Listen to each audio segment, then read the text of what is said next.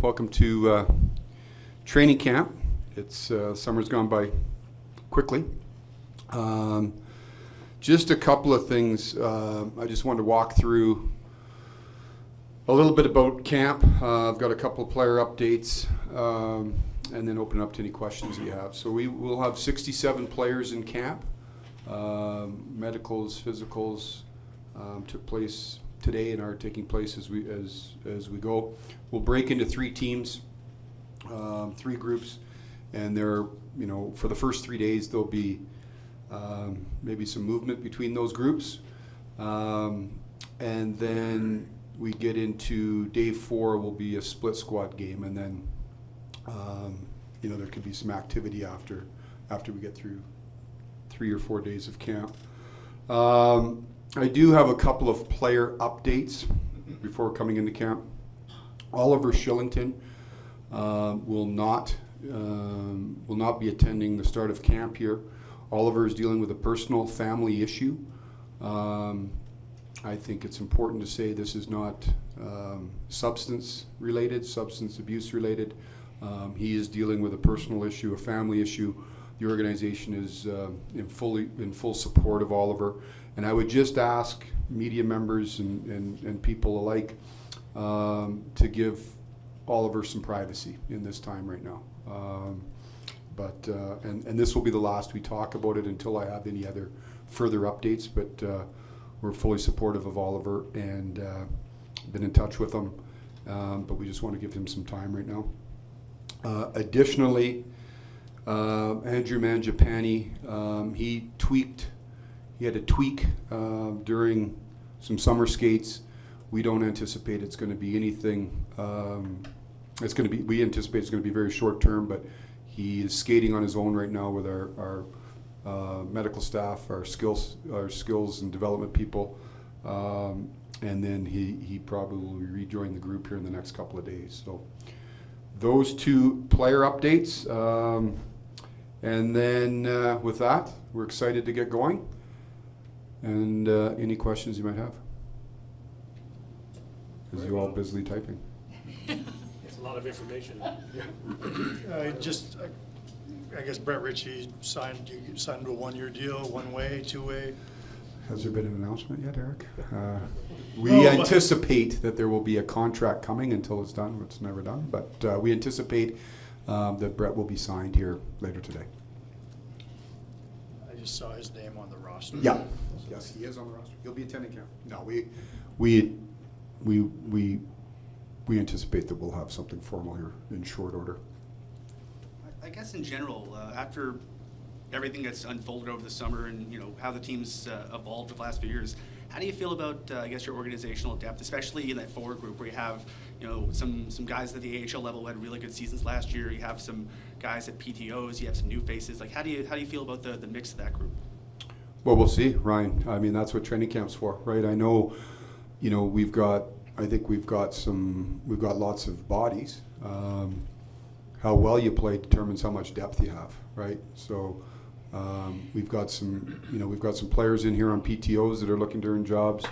As you said, we've had some players that, that had really good seasons in the American League last year. Um, you know, you get to training camp every year and everybody's like, well, um, you know, is there a spot for this guy? I want to make it real clear. Uh, whether you're 18 or 28, play well, there'll be a spot. You know, we've shown that in the past. I remember Dillon Dubé's training camp and Juuso Välimäki's training camp. There was no spots, uh, apparently, but they were on the opening day roster because they played their way on the roster. Um, good teams, it's got to be hard to. I've said it many times. It's like a club. An exclusive club is hard to get into. This is the NHL. Nothing is given. So whether you're PTO, whether you're an existing player under contract, whether you're uh, an American League player last year, a young player, old player, we're looking to dress the best lineup. We're trying to win, and uh, if you can help us win, um, you're on the team. You talked about the roller coaster off season. It's just kind of time to see where things fit now. But other markets are saying that you know you changed the tide of this NHL off season. Is it good to have so many eyeballs from around the NHL on Calgary and have that stage and spotlight as the season opens? Well, the summer, his idea of winning the summer is a load of crap. I think. I just you you you, you try to win in the winter. Um, the summer really is irrelevant. um, so we like our team coming in. Um, last year's last year. It's in the rearview mirror. We got a lot of questions to answer. Like wh- who, we've had we've had significant turnover when you look at the you know sort of the top of the food chain. And so where do they fit? How do they fit? Um, that process starts tomorrow. So, um, you know, I, I've said it before. I'm excited because the players are excited, but all this t- talk over the summer is just that. I usually when they talk about having a great summer, you know, we're more worried about having a great winter um, and spring.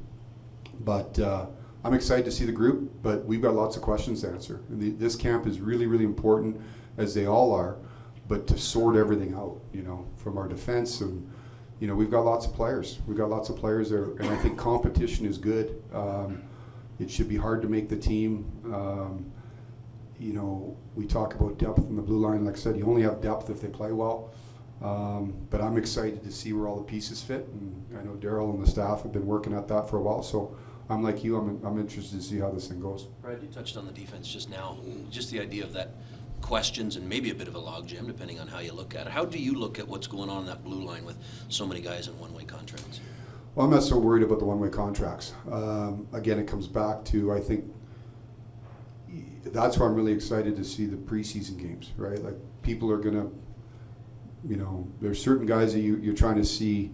I guess it's it's it's twofold, Ryan. Who who plays with who? Like who you, do, you never know where chemistry is going to be. Um, so sorting out that, and then you know there's some new faces. Um, we've got some younger players that are you know they've got to they've got to push the door down. It's their time now. So um, the contract situation is irrelevant. It's it's the play situation that matters. Um, the idea was to come in here with a lot of depth, and again, you're always numbers doesn't mean depth. You know, uh, playing well means depth, and, and I think we got lots of guys that come in great shape. Uh, there's only X amount of players that you can dress, so I'm I'm excited to see the competition, and I think we'll have a lot of it. And does that maybe speak to the PTOs as well on the outside? Not that you focus on what everybody's saying out of here, but just the idea that there's some surprise and some banter about who you brought in on PTOs and, and that type of thing. But I, I would imagine this is all part of your plan to have a pretty healthy camp. Yeah, I think you, to, to get where you want to get to, you got to have competition. You got to have depth. You know, uh, the players that have come in on PTOs are, you know, they're players that have been established in the league. Um, they're hungry. You know, they they look at this as an opportunity for them, and and uh, everybody's trying to win a job here. And when you when you when you try to have a good team, you should have a lot of competition. If it's easy to get in, probably not that good of a team. So there should be a respectful under, uncomfortableness, um, is what I like to say, um, of, of the process of putting camp together, and it's by design. And again, if you're good enough, I don't care where you played last year, I don't care how old you are. Um, Darryl will ultimately make that decision, um, but I think we're going to have competition at every position. Brad, you mentioned uh, chemistry just a moment ago. Like, I wonder, to a certain extent, you had a little bit of that last year with new faces, um, but you have it again this year. Is that something that you guys think a little bit about? Is it kind of just upon the players to develop that, or how do you kind of think about chemistry? Yeah, I think you start. You know, for the most part, the group's been here for the last couple of weeks skating, so you, develop a the relationships and the the bond, but chemistry you got to get in and see live bullets. You just don't know, right? We can all we've probably all put our lines together on a napkin, right? Usually that lasts 10 minutes, and then you don't know where chemistry is going to come from, right? Um, you know, so that's why you go through camp. I mean, that's why you play all the games. That's why you go through the practices. So um, I'm, I'm, I'm being perfectly honest with you. Darryl and I have talked about it all summer, but we don't know. I mean, you just don't know where it fits and matches. You have an idea where you think maybe skill sets fit, but ultimately, until you get out, until you get out on the ice, until you get in, into competitive situations, we'll see. But I think the group's been together, you know, for a while. They've built they've built the bond. Um, you know, it's a it's a tight knit group. There's a lot of guys that have been here before, are returning. The new guys have fit in, but you know that's different from on ice chemistry. So we'll start that tomorrow. you still in the market for a winger, uh, either by way of another PTO ad or, or some other way? Um, we'll see. Um, Eric, I want to see how, you know, we got the group here, so you want to see how that plays out.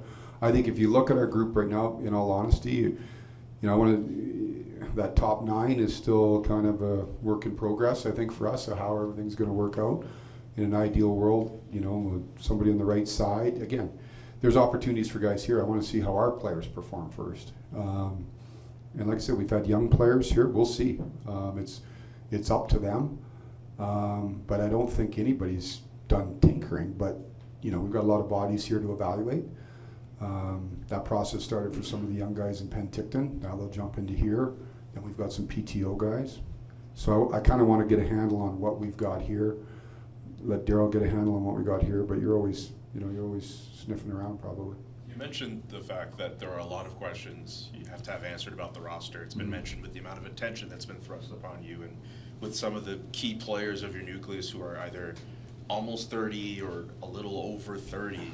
Naturally, there's going to be a lot of pressure thrust upon the organization to win. I'm just curious, in your own description, what's it been like feeling that pressure to be in this win now mode? Well, that's a lot of that win now is you're always trying to win, Julian. First of all, welcome to Calgary. Hopefully, you got moved in. I'll tell you the guys to stay and the gals to stay away from. Um, the, uh, I mean, that's the job, right? So there's no, there's no new pressure this year as opposed to last year, as opposed to five years ago. Um, we're looking to get into camp here um, and worry about day one and build a team. Now you're trying to build a team. So all the other outside noise and all the rest of it, um, we don't really pay a lot of attention to it. You got to be singularly focused. If we've got to, you know, tomorrow is day one of building a team, and there's a process that you go through in that. It doesn't just happen. And the fact, you know, last year's over with. Whatever you did last year doesn't mean you're going to win 20 games this year. 10 games doesn't mean you're going to win a game. You got to have to start the whole process over again, and uh, and that's that's the mentality of the group. We're not worried about anything other than having a good first day and seeing how everything starts to fit here. With that though, what's your own personal expectation for this group? What's the measuring stick for success versus failure once the season's done? Well, number one is our goal is to be a playoff team, right? You start every year. You can have all sorts of aspirations. Number one, it's extremely hard to be a playoff team in this league, and whatever you've done, and whatever your resume tells you, you still have to go play the games. So we sat in here last year, and I think there was very little expectation of this team on the outside. Um, the team had a good year. Uh, we start that whole process over again. So, number one, you have to do anything in this league. You have to be a playoff team, and you have to earn your way in it. You know, you don't get there any other way. Is you have to earn it over 82 games, and that's that's that's that's our goal right now.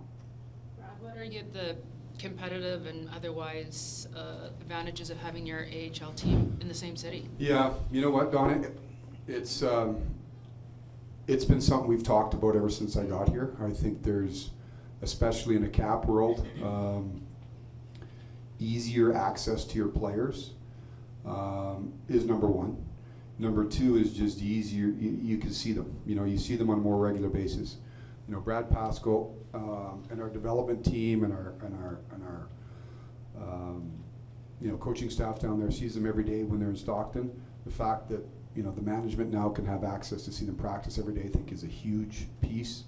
Um, so access, um, you know, our ability to be around them more often, our development team to be around them daily, and then the other thing, Donna, which I think is important, especially in a Canadian market, is they get to, you know, they get to sort of live what it's like in a Canadian market, and it's different playing in a Canadian market. That you know, people know what's going on with the team, and I think that's all part of the development process. You know, being, you know, sort of even when you're with the Wranglers, you see what's going on in Calgary every day, and that prepares you because when you sometimes, you know, come out of junior college, you're a, go to the American League and you're you're not in that pressure cooker. You know, it can it can slap you in the face. So those are the three things that we looked at in terms of. Um, number one is just made for how do we, what's the best way to develop our players, and we think the having the team in Calgary has got a lot of benefits. Organizationally, is it complicated though, having like the three hockey teams all playing out of the same city? The three teams out of, under the Flames Yeah. umbrella? Yeah, the trainers, I have made no friends with the training staff. Um, So it's, it's going to be a challenge, um, logistically, you know. Now, now, what, what the Wranglers will do for the most part is they're going to be based out at Winsport. That'll be their, they'll practice, they'll pregame skate, they'll, they'll come to the dome to play games and go back to their, you know, back to their cave. Um, so, no question, game nights, and it's not just the games, it's sometimes you got two teams playing, and then you may have a doubleheader, and then you got NHL teams that are waiting to get into rooms. So, there's some logistical nightmares. Um, but at the end of the day, we made the decision, what's the best development model for our, for our players, and that's, that's what we decided on. Brad, uh, this time last year we were talking about two stars going into the final seasons of their contracts, and this year it's you and Darryl. Is there any update on you and Darryl like entering the final season of your deal in the future? Nope, no update, uh, won't, uh, really, we'll address it today and then move on, as we did with, uh, any player contracts, that, to me, it's a non-issue. Um, we're focused on, we're focused on getting going in camp, um, but it, you know, I put to rest that there's no, you know, is he gonna do something to, you know, crazy because he's in the last year of his contract? Uh, no, he's not. Um, so we will, we'll deal with that when it's at the appropriate time, but right now the focus is just getting going here. You, uh, last season, the, the club didn't have a, captain, went with the leadership group, and it seemed to, to work pretty well. You mentioned, uh, you know, you're beginning the team building process for this coming season. Does how things went last year with no formal captaincy change how you approach this year, or is it sort of something you have to go year by year and see how it goes? It's a good question, Ryan. I will see. I mean, Darryl and I have talked about it a little bit. I think yeah, you, that's got to play out. I don't think you just name a captain just to check it off a list. Um, I think those things just we'll we'll see how everything goes. And uh, you know, we've got some new people in here. I think number one, our number one priority is just to get everybody together and get the group formed. And like I said, start building the team. The what I enjoy is the is the team building process. Um, and then we'll see. Obviously, I think we've got lots of strong leaders on this group. Um, we have to let this play out, and that's something we'll talk about, you know, during and throughout camp. Uh, Also, any update on uh, Chris Tanev?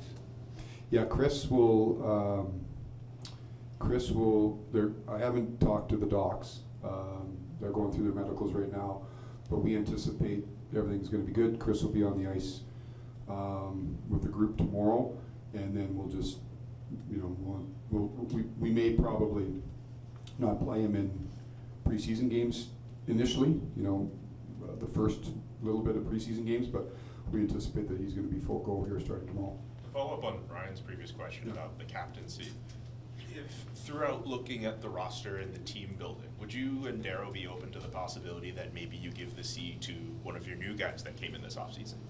You know what, Julian, I'm not, I think those are all questions that, I certainly wouldn't be opposed to anything, right? Like I said, I think you, you have to, sometimes we, we rush to say, okay, let's do this, let's, let's just see how things work out, right? Um, let's see how the group dynamic works, let's just see how this all plays out. Um, but I'm, you know, like I said, that's something Darryl and I will talk about, but not opposed to anything, let's just see how the focus, and really, it's not, it's not a, it's not a priority for us, I think, uh, you know, making sure, making sure everything fits is, is the priority, so we'll see how, how things work over the course of the next little bit.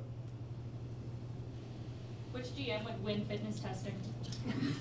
Which GM? Ooh, It's a good one. Um, Might have to go with Sweens. Sweens may be fitter now than he was. He was fit as a player. He's pretty fit now. Good? Everybody good? Who finished last? That'd be about a fifteen-person tie.